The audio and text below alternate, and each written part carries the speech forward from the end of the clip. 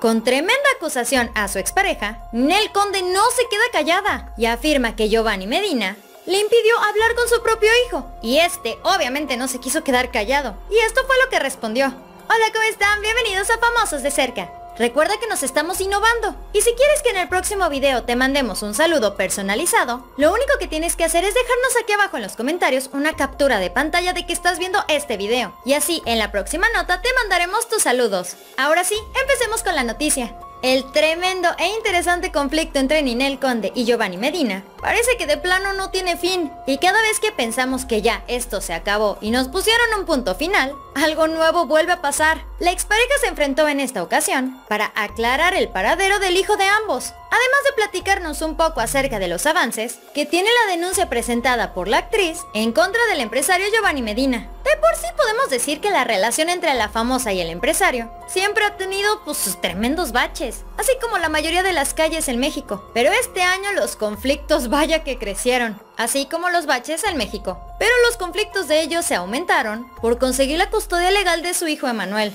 Este nuevo episodio en el libro, llamado La custodia legal por Emanuel, comienza cuando la famosa mexicana se presentó ante la Fiscalía General de Justicia de la Ciudad de México. En este lugar Ninel Conde llegó sin pelos en la lengua y dijo que no conocía el paradero de su hijo, además de que mencionaba que su expareja no le contestaba los mensajes, ni las llamadas porque supuestamente la tiene bloqueada. Así es, si tú te estabas sintiendo mal porque tu novio, tu novia te bloqueó, esto también le sucede a las guapas actrices como Ninel Conde. Tras este testimonio de Ninel, el programa de Telemundo Suelta la Sopa no se quiso quedar con la duda y contactó a Giovanni Medina, quien de hecho, como si nada, mostró el desarrollo de su hijo y desmintió a la mamá de Manuel. A los cuestionamientos de la conductora Vanessa Claudio, Giovanni Medina mencionó. Estamos aquí en la casa, se le acabó ya este, los trucos publicitarios y ya quiere salir más en la tele, pero tiene por derecho este, videollamadas de 7 de la noche a 7.20 o hasta que el niño lo permita.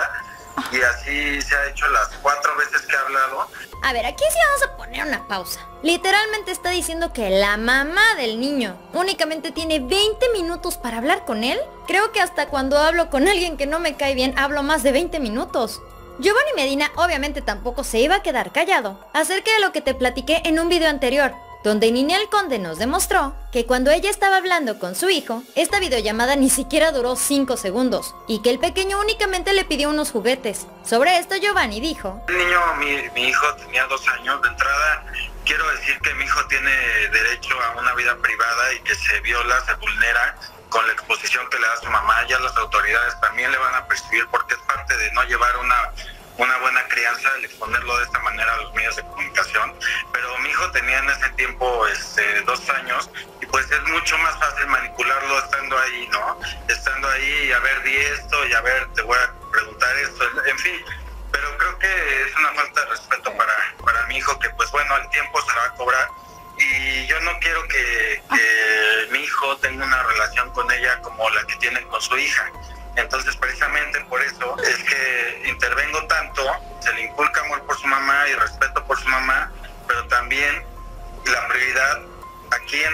es nuestro hijo. Así lo creo yo, así lo cree el Estado y así se está llevando a cabo. Giovanni Medina aseguró que el pequeño Emanuel ha padecido bastante, porque por ejemplo su mamá se iba, no sé, a hacer una obra de teatro y a este lo dejaba a cargo de terceras personas. Ninel Conde también fue contactada por parte de la emisión y dio más detalles acerca de la denuncia que presentó ante las autoridades capitalinas. Ninel Conde mencionó que ella presentó de todo, testigos, pruebas, audios, escritos y hasta correos electrónicos. De hecho, Ninel Conde dijo algo bastante interesante, ya que el artista aseguró que los integrantes del juzgado número 36 comprobaron que Giovanni y Emanuel no estaban en su casa en la Ciudad de México, ya que al parecer las autoridades lo fueron a buscar al hogar junto con su abogado. Incluso no se encontraba su camioneta y el policía alegaba que él había salido de viaje, Además de esto, Ninel Conde señaló que ella no ha podido comunicarse con su hijo desde hace más de una semana y que incluso en un par de días Giovanni Medina la bloqueó y ni siquiera le dejó marcarle. En repetidas ocasiones Ninel Conde nos ha platicado que ella ya tiene más de tres meses sin ver físicamente hacia su bebé. Y fue durante este calvario que ella pues ya se desesperó y fue cuando no dudó en recurrir al presidente de México Andrés Manuel López Obrador. Y es que de hecho en las últimas horas Ninel Conde ha hecho uso de sus historias de Instagram para compartirnos una que otra prueba en donde podemos ver que Giovanni Medina la trata como guarache. Además de esto, varios perfiles de fanáticos de Ninel Conde han hecho públicos que han recibido comentarios pues bastante fuera de lugar, de perfiles falsos, los cuales de hecho cuando entras a verlos no tienen ni una foto ni una publicación y a veces hasta ni siguen ni lo sigue nadie. Estas son algunas de las historias de las que te estoy hablando. Ojalá que a final de cuentas este conflicto se pueda resolver, principalmente por el bienestar de Manuel.